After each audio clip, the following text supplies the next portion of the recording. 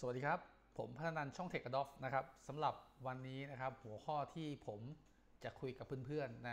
คลิปนี้นะครับ เราจะมาคุยกันถึงการติดตั้ง Windows Server Update Service นะครับหรือ WSUS นั่นแหละนะครับบน Windows Server 2022 นะครับบน Windows Server 2022 และหลายคนคงรู้จักนะครับว่า Windows Server Update Service หรือ WSUS คืออะไร แต่ผมเชื่อนะครับว่าหลาย ๆ ท่านหลาย ๆ คนอาจจะยังไม่รู้จัก WSUS นะครับว่ามีหน้าที่อะไรเอาไว้ใช้งานอย่างไงนะครับ การใช้งานอย่างไรนี่สำคัญมากนะครับ เพราะมันคือการประยุกต์การแอปพลายเอามาใช้ในองค์กรของเรานะครับ ทีนี้เนี่ยก่อนที่จะเข้าคลิปนี้นะครับ อยากจะให้เพื่อน ๆ นะครับ ต้องขอบคุณเพื่อนๆทุกคนนะครับ ที่เป็นสมาชิกเป็น Subscriber ของเราอยู่แล้วนะครับ ก็เพื่อนๆที่ Subscriber อยู่แล้วก็ฝากแชร์นะครับความรู้นี้ให้กับคนอื่นด้วยนะครับ แล้วก็สำหรับท่านใหม่ๆที่เพิ่งเข้ามา Subscribe ช่อง Tech Adopt นะครับ ก็ต้อง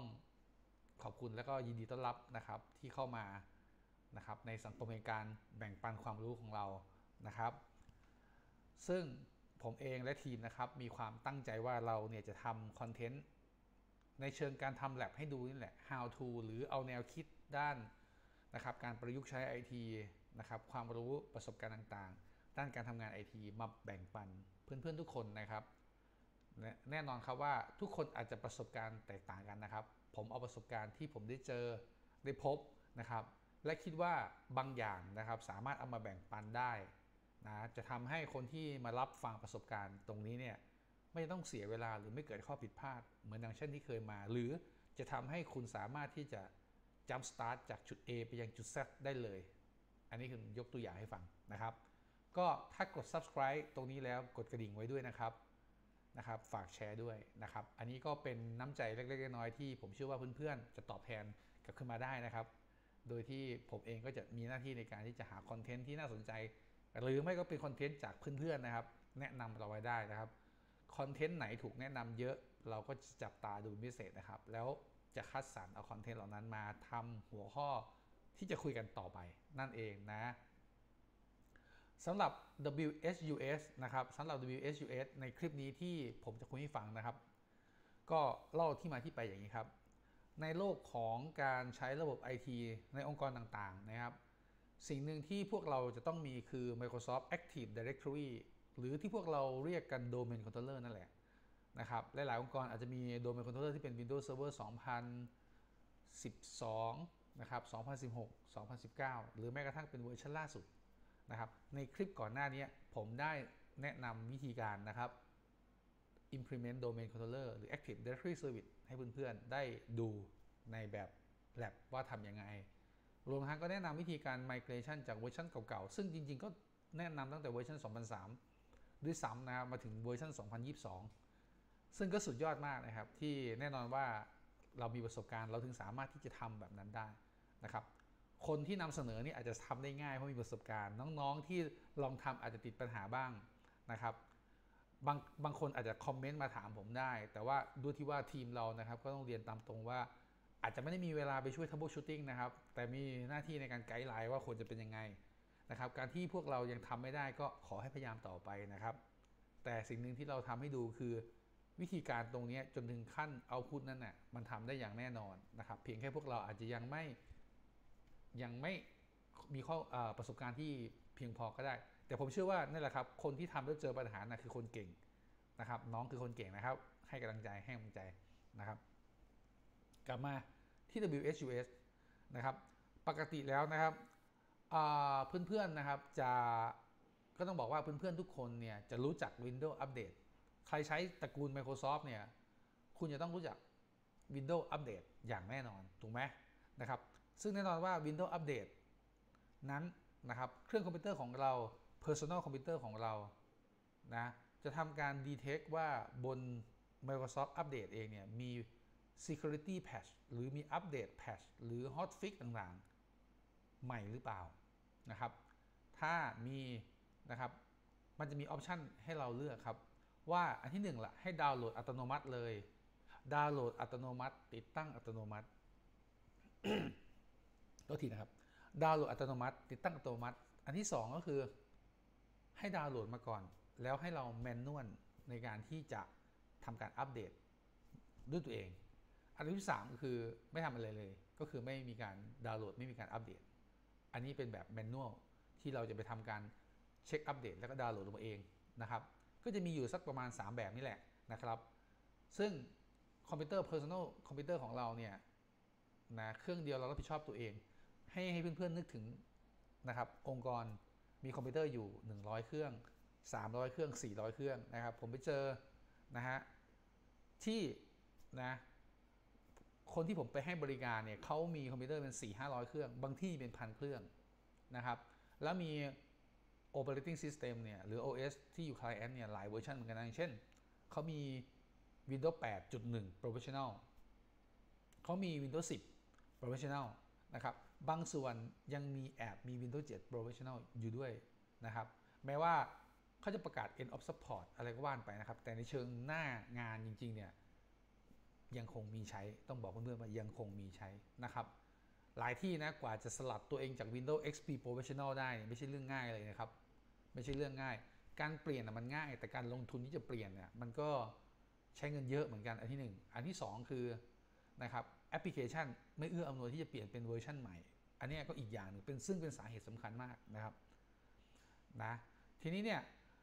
ถ้าอยู่ในองค์กรขนาดใหญ่มีคอมพิวเตอร์เยอะ นะครับมีคอมพิวเตอร์มหาศาลนะหลายร้อยเครื่องคำถามคือ แล้วไอทีจะไปอัปเดตคอมพิวเตอร์เหล่านั้นเนี่ยแบบต้องพึ่ง Windows อัปเดตจาก Microsoft ใช่หรือไม่คำตอบก็คือไม่ใช่นะครับคำตอบคือไม่ใช่ทำไมเราไม่ควรปล่อยให้ Client เหล่านั้นนะครับทำการอัปเดต Windows เนี่ยด้วยตัวเองหรือตามยถากรรม หรือตามยถากรรม ทำไมเราไม่ทำอย่างนั้นคำตอบคือในองค์กรของเราอะเวลาเราเซตให้เครื่อง Client ทำการอัปเดตนะครับ เราจะอัปเดตเฉพาะแพทที่มันมีความจำเป็นนะครับแพทบางตัวแม้มีความจำเป็นแต่มันดันไปคอนฟ lict กับแอปพลิเคชัน ที่ใช้ในธุรกิจอะอันนี้ยังต้องยอมเลยนะครับว่าไม่ต้องแพทแล้วไปหาวิธีการป้องกัน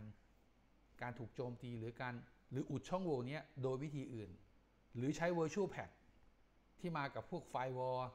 security ต่างๆ ที่มา จะไปแพทตรงๆ บนเครื่องไม่ได้ แม้กระทั่ง client เพราะถ้าไปแพทหรือไปอัปเดต Security ของ Windows เครื่องนั้น มันมีปัญหากับแอปพลิเคชัน อันนี้ยุ่งนะครับ ยุ่งเลย และเสียเวลาเสีย productivity ในการทำงาน เขาก็เลยไม่ทำกัน ดังนั้นพอไม่ทำเช่นนี้นะครับ องค์กรจำเป็นจะต้องมีการตั้ง Windows Server Update ที่ Office ที่องค์กรของเรานะครับเดิมทีเราเพิ่งพา Microsoft เราเพิ่งพา Microsoft ที่อยู่บนที่อยู่บนคลาวก็คือคลาวของ Microsoft ที่ทำหน้าที่แพทแพทแจกแพทนี่แหละ เราจะไม่พึ่งพาตรงนั้นโดยตรงแล้ว เราจะตั้ง Windows Server Update Service ที่องค์กรของเราที่ออฟฟิศของเราแทน นะครับ แล้วเราจะทำการดาวน์โหลดเฉพาะแพทหรืออะไรที่มันสำคัญลงมาที่นี่แล้วเราทำการ deploy ไปนะครับ เพราะฉะนั้นนะครับอันนี้พูดพูดถึงเครื่อง client เฉยๆนะครับ ซึ่งก็เยอะและเป็นภาระซึ่งเป็นสิ่งที่เวลาเกิดปัญหากับ client แล้วปวดหัวมากที่สุด ปวดหัวกับการที่มันเกิดขึ้นกับเซิร์ฟเวอร์ต้องบอกงั้นเลยนะนะครับ แล้วในส่วนของ Server System เอง ถ้าเป็นค่าย Microsoft เองเนี่ย การ patch สุ่ม 4 สุ่ม 5 หรือการอัปเดต Windows Security Windows Update Security สุ่ม 4 สุ่ม 5 นะครับ มันมี Hotfix มี Update Security มีอัปเดตอัปเดตเวอร์ชันมันก็มีนะเวอร์ชัน Sub Minor Change น่ะมันก็มีนะครับ ถ้าคุณทำโดยที่คุณไม่ได้ validate verify validate อะไรเลย และคุณไปซับอัปเดตเลยนะครับ เสียหายกันมานักต่อนัก จึงอยากจะบอกไว้ก่อนนะครับ หัวข้อนี้เราคุยเรื่อง Windows Server Update Service ก็จริง เราคุยว่าเราสามารถยกอัปเดตเซิร์ฟเวอร์มาไว้ที่องค์กรของเราและ เราสามารถส่งนโยบายส่ง configuration เฉพาะเนี่ยไปให้เครื่อง client เหล่านั้น ให้มันมาอัปเดตที่เซิร์ฟเวอร์ของเรา ได้ก็จริง แต่ยังคงเหมือนเดิมนะว่า หลักการของ System Admin IT Admin ที่ดูแลทั้ง Client และก็ทั้ง Server คุณจำเป็นจะต้องเช็คก่อน เช็คยังไง วิธีการก็คือนะครับปัจจุบันทุกคนคงใช้ Virtualization อยู่แล้ว Virtualization อยู่แล้วนะครับคุณจำเป็นจะต้องมี template clone ของแอปพลิเคชัน ของเครื่อง Client นะไม่ว่าจะเป็น Windows 10 Professional Windows 11 Professional Windows 8.1 Professional คุณจะต้องมี template พวกนี้ และมีแอปพลิเคชันที่สำคัญที่องค์กรของคุณใช้ เวลาที่คุณจะ test เวลาที่คุณจะทำทดสอบก่อนทำการอัปเดตจริง ให้คุณมาทำการอัปเดต patch บนเครื่องพวกนี้ แล้วดูว่าหลังจากทำการอัปเดต คือก่อนอัปเดตเราเช็คอยู่แล้วว่าโอเค มันไม่ได้มี conflict ไม่มีปัญหาอะไรนะครับ หรือโอเค มันมี conflict มันมีปัญหาอะไร ถ้าคุณจะทำการอัปเดต คุณจะต้องระวังอะไรเขาอาจจะบอกเราก่อนแล้วใน information ของ patch นั้นๆนะครับ แต่ในกรณีที่มันไม่มีผลอะไรนะครับ เรามา test แล้วเสร็จปุ๊บมันอาจจะมีก็ได้ หรือมันอาจจะไม่มีก็ได้ ถ้ามันไม่มี เรา test เรียบร้อย เราจะรู้ ถ้ามันมีเราจะรู้ เราจะไม่ไปอัปเดต เราจะไม่สั่งโดยพลาการ เราจะไม่เจอปัญหาต้องปวดหัวนะครับ ถ้าทำตาม step ที่ผมบอกนะ คุณจะไม่เจอปัญหาที่ปวดหัว แต่ถ้าคุณนะครับ เป็นประเภททำเลยลุยนะครับ ลุยเร็วเกินไปนะอันตรายนะครับเซิร์ฟเวอร์ SQL Server อัปเดตก่อนทำ เช็คในสภาพแวดล้อม test ก่อน Exchange Server อัปเดตเช็คในสภาพ test ก่อน อ่านด้วยว่ามีผลอะไรกับไม่มีผลอะไร อ่านให้ดีนะครับ โอเคนะอันนี้ผมให้ guideline ไว้ว่า scenario นี้เราต้องการควบคุมการอัปเดต Security Patch Hotfix ต่างๆ หรืออัปเดตต่างๆ ของค่าย Microsoft ด้วยกันนะครับ เพราะมันมีหลายแบบ มันมีทั้ง Windows มันมีทั้ง Hyper-V Update หรืออะไรพวกนี้แล้วแต่มันแล้วแต่ว่าเราจะจัดสรรอะไรมา ซึ่งมันมีหมดนะครับ เพราะฉะนั้นเนี่ยผมก็ให้ภูมิคุ้มกันไว้ก่อนนะนะครับ ไม่รอช้าเดี๋ยวเราเข้าไปที่ที่แลบของเรานะครับ ที่แลบของเรา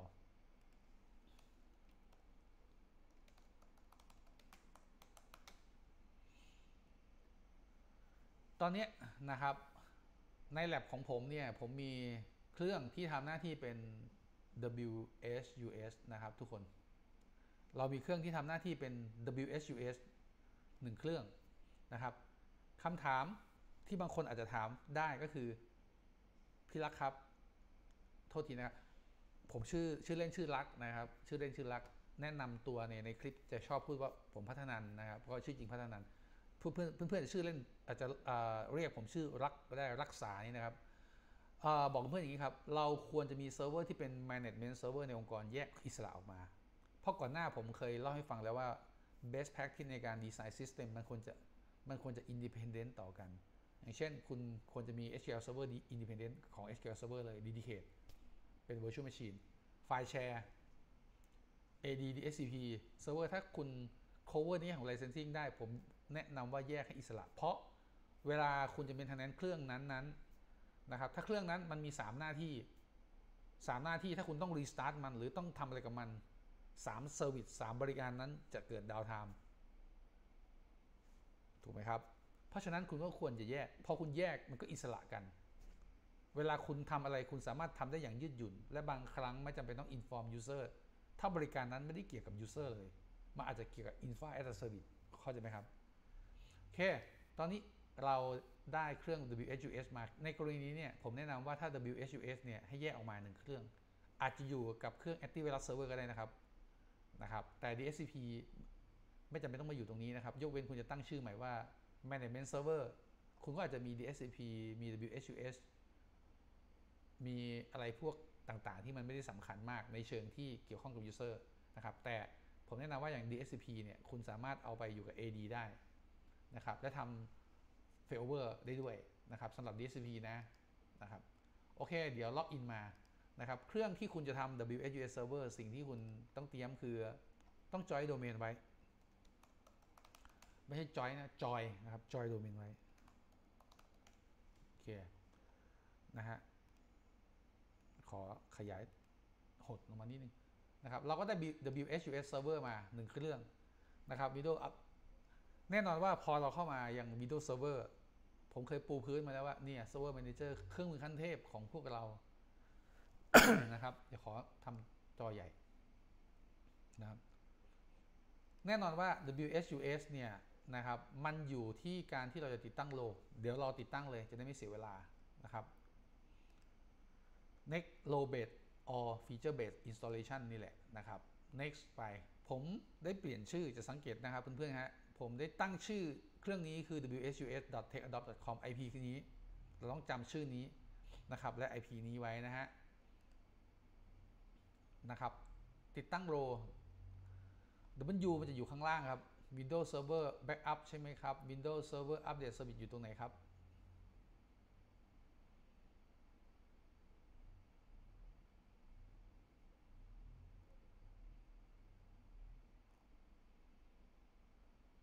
ตึ๊ดตึ๊ดตึ๊ดตึ๊ด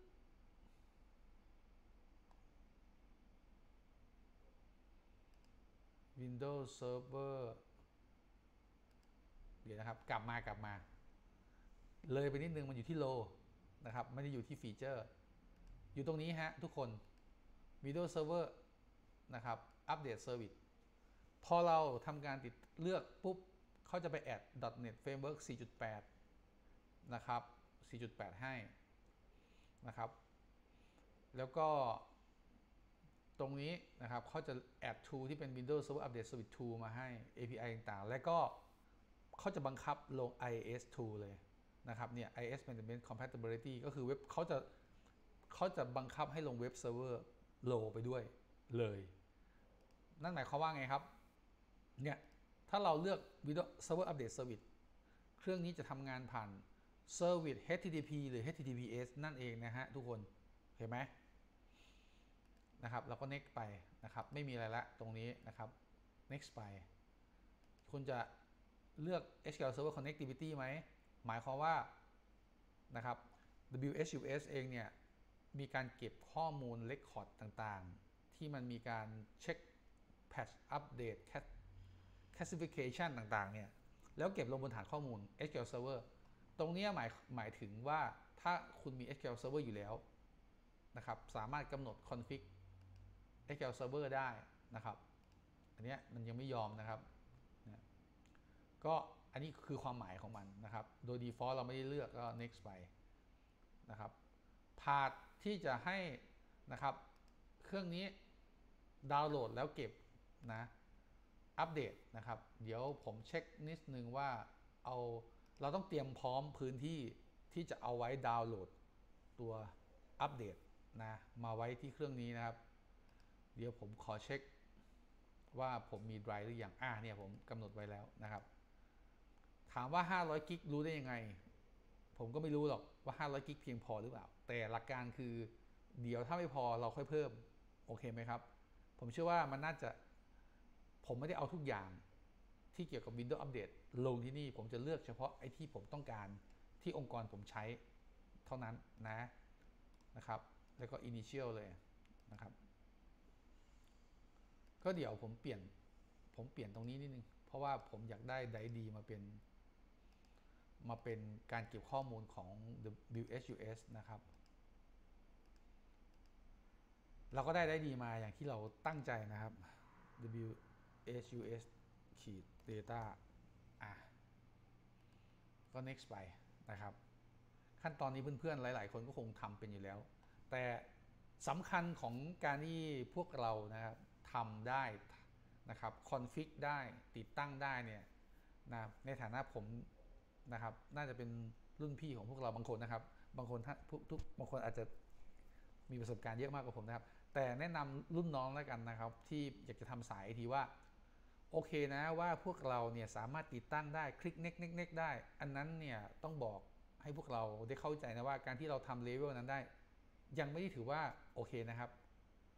กับการที่พวกเรา ทำเช่นนั้นได้มันอยู่ในขั้นตอนการทำงานอย่างหนึ่ง แต่อยากจะบอกว่าเวลาพวกเราทำงานสายไอทีในแง่ของการที่จะต้องติดตั้ง implement ระบบพวกนี้ขั้นตอน step ของเราจะต้องมี ก็เหมือนกับที่ผมอธิบายให้ฟัง เราลงเซิร์ฟเวอร์ใหม่เสร็จปุ๊บนะครับเราทำเราเราเตรียมชื่อเซิร์ฟเวอร์ใช่ไหมครับ นี่คือขั้นตอนการเตรียมการ step ของเราเตรียมชื่อเซิร์ฟเวอร์เตรียม IP address นะครับเตรียมการ join domain เช็คเรื่องก่อนก่อนจอยโดเมนเช็คเรื่องเวลาว่า เป็นเลนส์เป็นไทม์ดิจิ a ลเดียวกันหรือเปล่า เป็นบวก 7 บางกอกฮานอยจาการ์ตาหรือยังสมมุตินะฮะลงถ้าคุณใช้ VMware ก็ลง VMware 2 ด้วยนะครับ เสร็จปุ๊บ Restart Joy Domain เปลี่ยนชื่อเสร็จ เปลี่ยนชื่อคอมพิวเตอร์ Restart นะครับ มา Joy Domain Joy Domain เสร็จปุ๊บ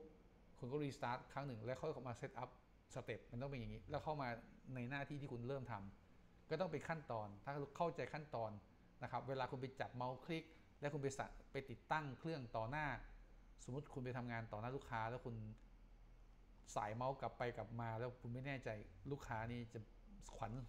ขวัญเสียกว่ากว่าคุณอีกนะนะครับอะโอเค กลับมานะกลับมานะผมผมโม้ซะเยอะดีนะครับ ผมก็บอกว่าดีนะเมื่อกี้WSUS data อันนี้โฟลเดอร์นะครับ อันนี้คือโฟลเดอร์อะนะครับ เดี๋ยวเพื่อนๆจะเข้าใจผิดพอดีตั้งชื่อ repository แล้วกันนะ ผมเรียกว่า repository นะ ผมก็ next ไปเขาจะไปสร้างเขาจะไปสร้าง เดี๋ยวนะ ตอนนี้เรายังไม่ได้ drive D เหรอ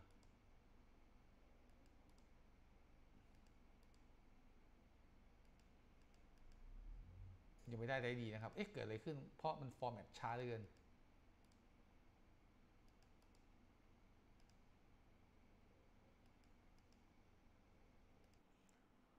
เค เดี๋ยวเราใส่เป็นได้ดีนะครับ แล้วก็ sus ขีด repository นะฮะ เสร็จปุ๊บนะครับ ก็ขั้นตอนนี้ไม่ต้องทำอะไรนะครับ next ไปเลยนะครับ ก็ทำการ next ไปเลย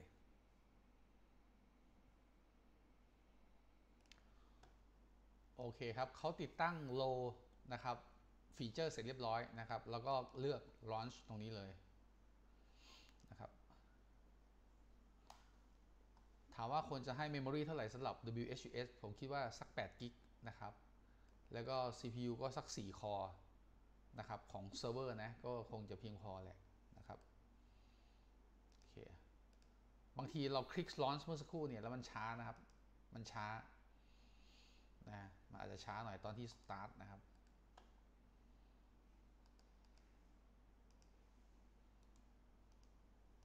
ขอเช็คนิดนึง อันนี้เราให้ 4 คอร์แล้วแรม8กิกนะฮะ ก็ไม่ได้ขี้เหร่นะ สเปคนี้นะครับ อยู่บน Intel Xeon ด้วย นะครับ หลังจากติดตั้งนะครับผมจะไม่รอมันนะครับ ถ้ามันขึ้นมาก็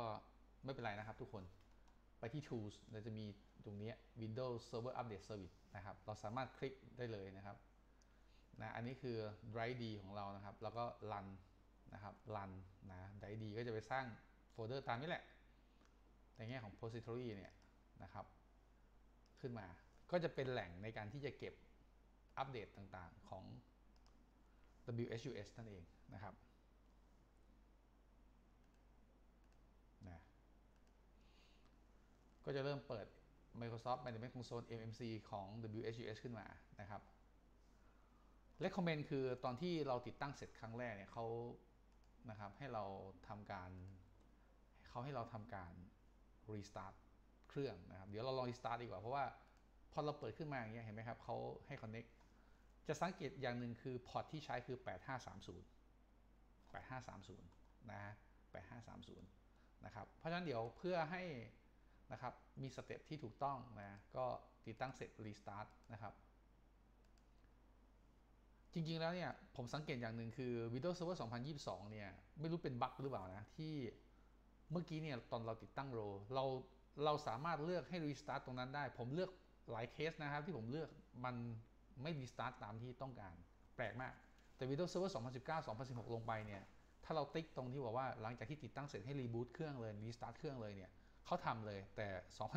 2022 ผมเจอไม่รู้เพื่อนๆเจอหรือเปล่านะครับคอมเมนต์มาบอกกันหน่อยนะหรือผมเจออยู่คนเดียว นะครับ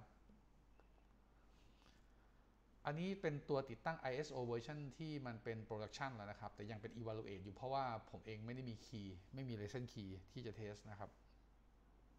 นะครับ ซึ่งแน่นอนว่ามันไม่ได้ต่างกันในแง่ของ feature นะครับ ไม่ได้มีล็อกหรือปลดล็อกนะครับ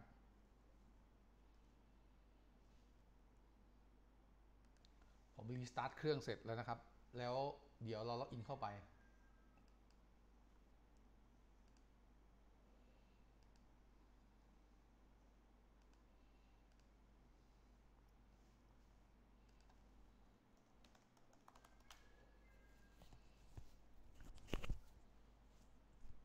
นะทัน ใจนะครับ คราวหลังต้องเพิ่มแรมให้เครื่องแลบเยอะๆ เครื่องนี้นะ เยอะๆ ถ้าถึงจะเร็วทันใจนะครับ แต่เดี๋ยวจะเวอร์ไปนะครับ ให้มันสมส่วนเหมาะสมเพื่อนๆ จะได้เห็นว่าเออเครื่องนี้ คนที่ทำแลบเขาใช้สเปคอะไรนะ จะได้รู้ใช่ไหมผมก็ไม่อยาก assign allocate ให้ทรัพยากรมันเยอะมากเกินไปนะครับ หลังจากที่เรารีบูตเครื่อง power up sign in เข้ามาแล้ว สิ่งที่เราจะต้องเช็คครับ ก็คือนะอันที่หนึ่งเลย service นะครับ เปิดนะ tools นะครับ service ขึ้นมา นี่นะ อันที่สองเลยเนี่ย เปิด IS ขึ้นมา IS manager ขึ้นมานะครับ บ่อยครั้งที่เรานะทำการ installation เสร็จเรียบร้อยเนี่ย ปัญหาของมันก็มีเหมือนกันนะ ไม่ใช่ไม่มีนะครับนะครับ จะสังเกตว่าเขาใช้พอร์ต 8530 8531 ถ้าเป็น HTTP คือ 8531 ถ้าเป็น HTTPS คือ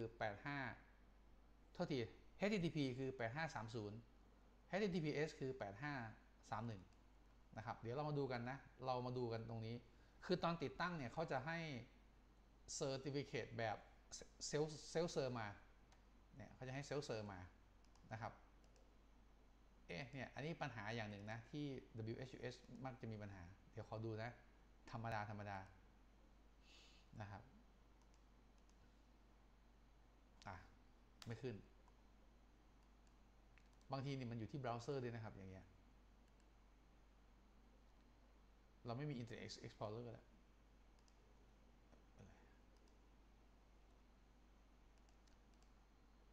นะครับ HTTP พอดี HTTPS ไม่ขึ้นเนี่ยก็เพราะว่ายังไม่มีแหละ ผมว่านะ มัน binding ไว้ให้เฉยๆนะ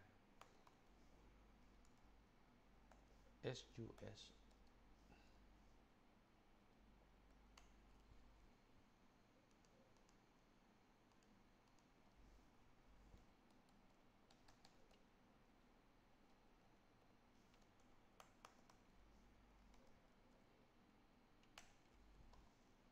เราต้องเช็คแบบนี้ครับ เช็คว่ามันขึ้นหรือเปล่านะ ปกติไหมนะครับ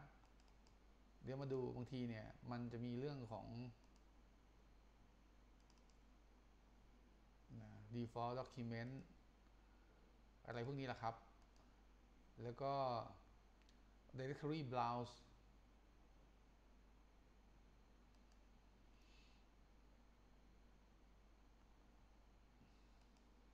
นะครับ directory browse อยู่แถวนี้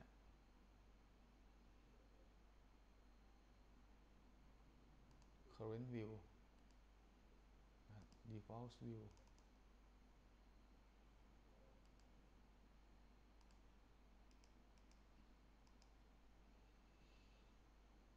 แคช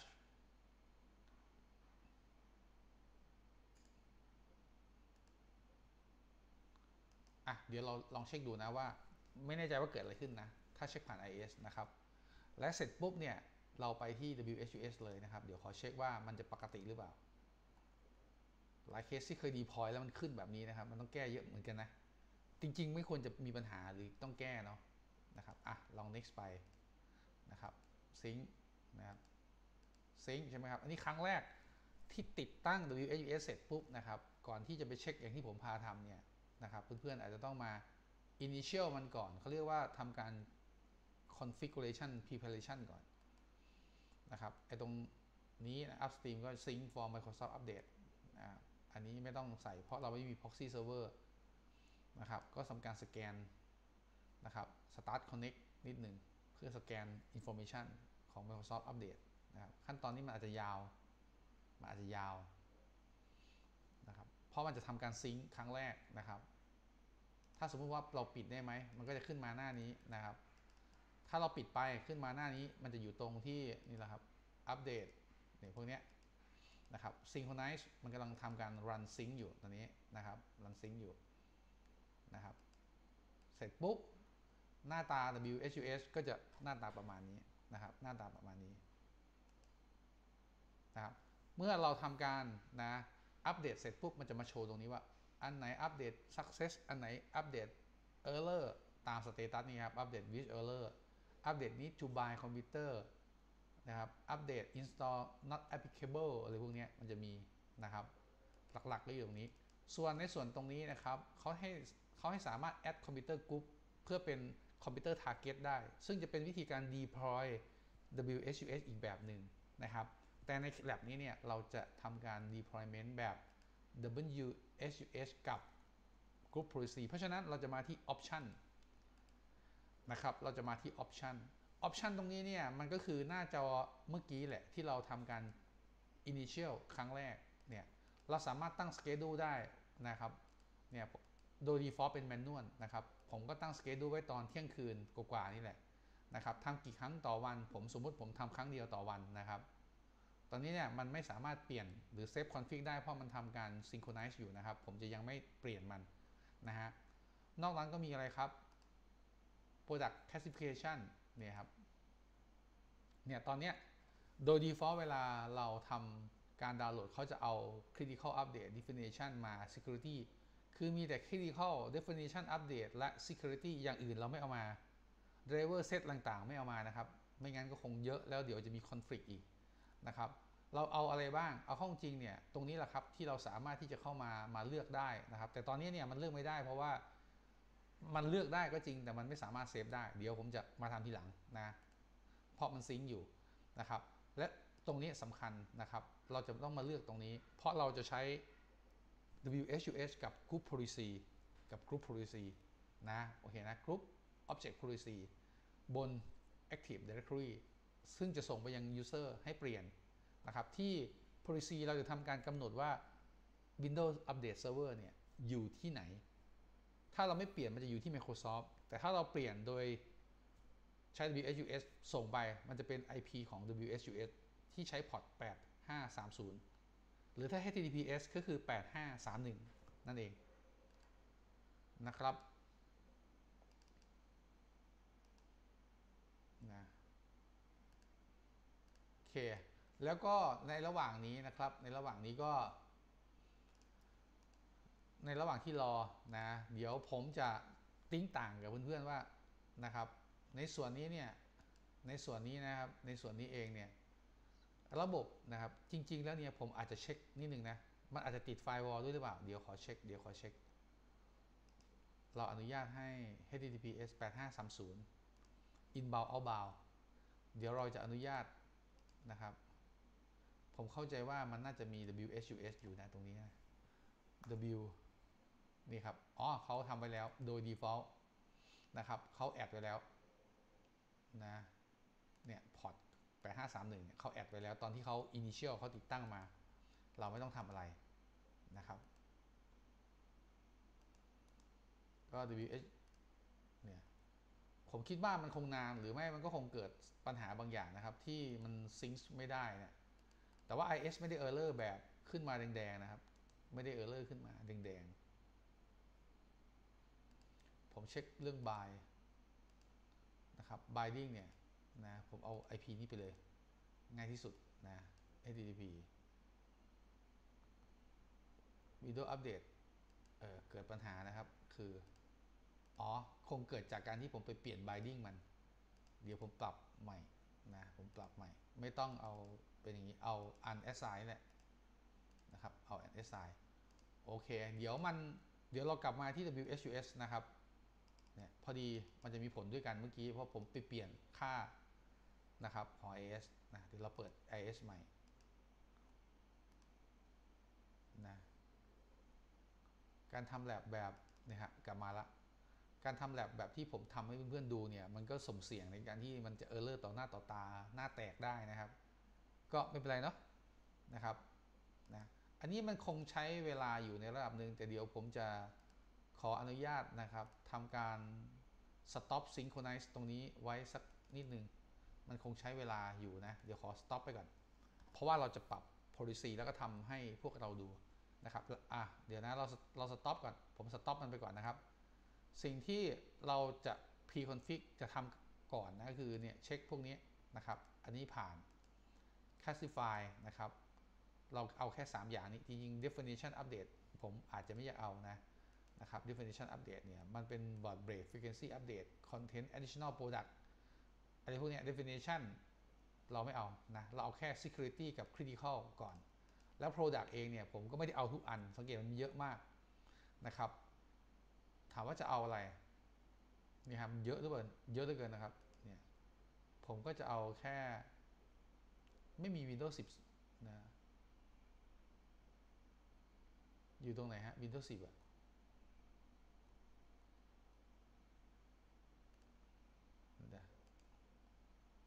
เอาเป็นว่าเราเอาเราเอาเฉพาะตรงนี้นะครับ apply ไป เสร็จปุ๊บ product เนี่ย มันมีเยอะเหลือเกินนะครับ เดี๋ยวในเดี๋ยวในเวอร์ชันนี้คลิปนี้นะเราอาจจะยังไม่ไม่ไปติ๊กอะไรเพิ่มอะไรออกจากตรงนี้นะครับ ไม่ไม่ติ๊กเพิ่มไม่ติ๊กออก เดี๋ยวเรามาดูว่ามันเป็นยังไงตรงนี้นะ แล้วเสร็จปุ๊บเนี่ยภาษา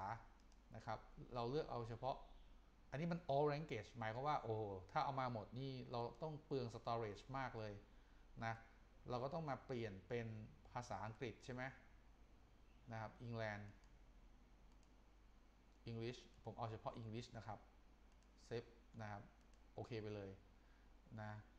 ซิงสเกดูผมก็ให้ซิงอัตโนมัตินะครับซิงเวลาสองรอบ สมมติผมให้ซิงเวลาสองรอบนะครับ แล้วก็ออโต้แอปพรูฟไหม ผมก็บอกว่าเออออโต้แอปพรูฟมันคือการเรื่องแอปพรูฟอะครับ WSUS approve update product itself นะครับ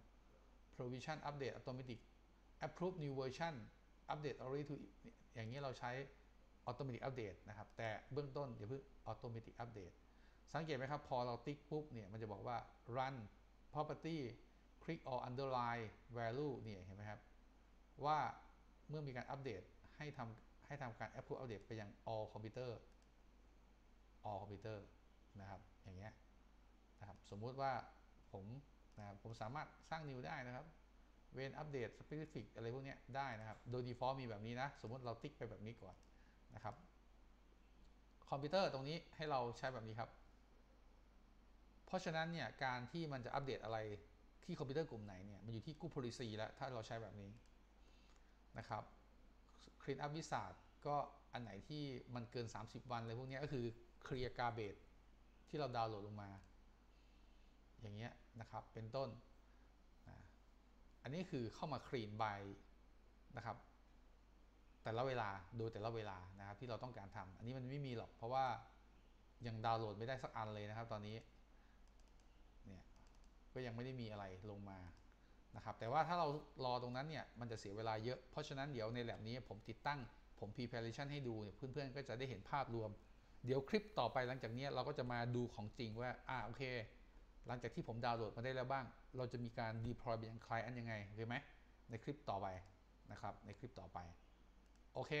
พอเราเปลี่ยนแล้วตรงนี้นะครับ ผมก็ผมก็ให้มาสั่งซิงค์ใหม่ สั่งซิงค์ now นะสั่งซิงค์ now นะครับ ผมขอเช็คสวิตหน่อยนะที่เปิดขึ้นมา Windows Update Service นะครับ WSUS Certificate Server Manual มันควรจะสตาร์ทใช่ไหมอ่า เนี่ย พวกเนี้ยมันควรจะสตาร์ทนะครับ อันนี้คือ Service ของ WSUS นะครับ ถ้ามันมีปัญหาอะไร มันก็จะส่งผลกับแอปพลิเคชันเมื่อกี้ให้ Error นั่นแหละนะครับ แต่ทีเนี้ยรอให้เวลาเขาซิงสำหรับงานในส่วนของการติดตั้ง WSUS นะ ที่ผมไล่มาเนี่ย ก็ถือว่า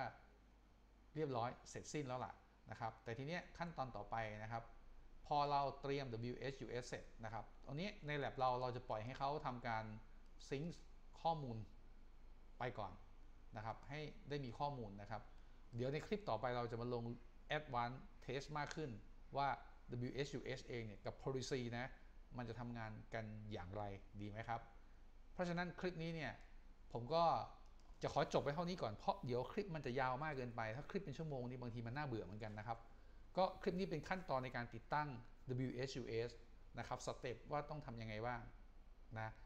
เดี๋ยวในคลิปต่อไป EP 2 ผมจะมาคุยกับเพื่อนๆต่อว่า หลังจากที่ผมดาวน์โหลดแพทชมาแล้ว ผมจะดีพอยไปยังเครื่อง client แล้วก็